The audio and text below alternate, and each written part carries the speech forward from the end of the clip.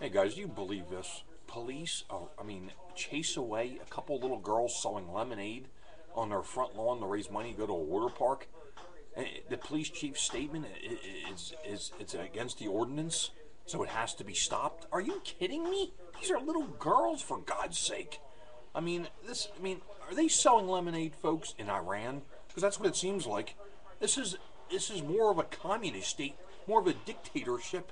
This is not a democracy we live in. Don't be fooled. We're, we're, we're a bunch of, a lot of people are so blind as to what's going on in this country. Innocent people being shot in the back. Uh, this is becoming a police state.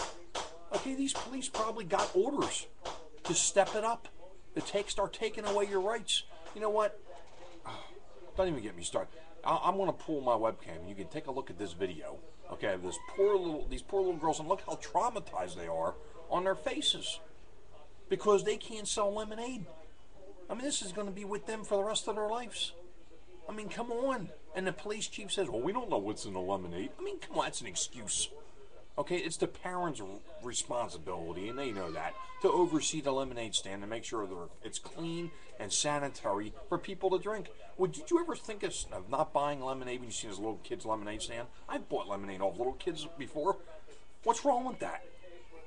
I mean, it's supporting your little lemonade stand. It, it, it's so cute when you see them out there trying to make a buck. I mean, this is just ridiculous. I mean, I think many parents, times are so tough. Many people may be out there selling lemonade on their front lawn. They're trying to make ends meet to pay their mortgage. I mean, this is this is this is the this is what I'm talking about. You got Bill S five ten. You can't grow vegetables or give vegetables away to your neighbor. I believe it passed. I'm not sure. Uh, you can't. They arrest a woman for growing vegetables on her front lawn. They're shooting people in the back for no reason. Uh, it's becoming a police state, folks. We need to stand up. This is ridiculous. This is just going to get worse. Pretty soon you're going to be arresting your children on the front lawn if they're selling lemonade. This is unbelievable. But, but take a look at this video real quick, okay?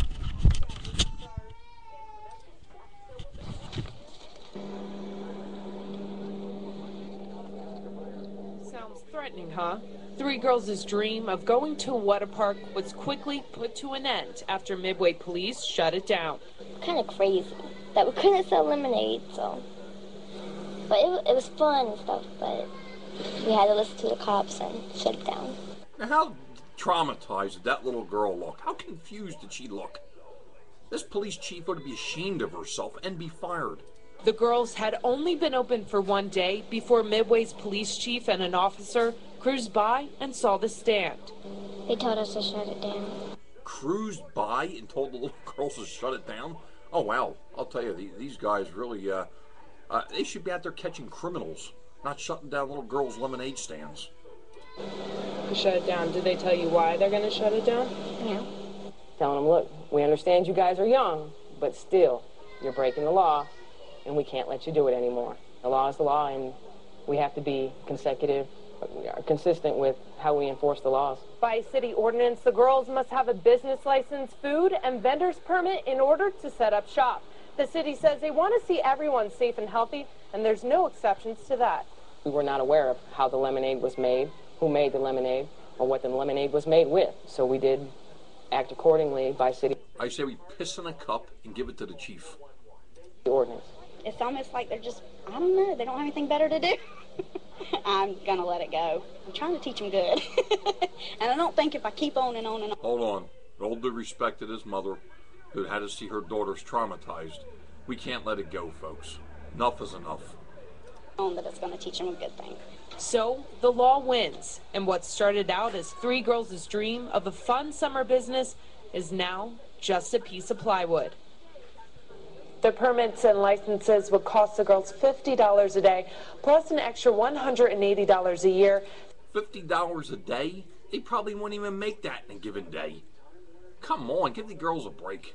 Since the lemonade stand was shut down, the girls have been doing extra chores and yard work to make the money for the water park. See what I mean, guys? Now, I had to show you that. JCL News. Unbelievable. Unbelievable. Time to stand up. Had to share that with you. Anyway, The link to that will be underneath the description of this video. You can watch that news clip yourself in full. God bless. Oh, and remember, make sure your kids ain't selling lemonade on your front lawn. They can end up in prison.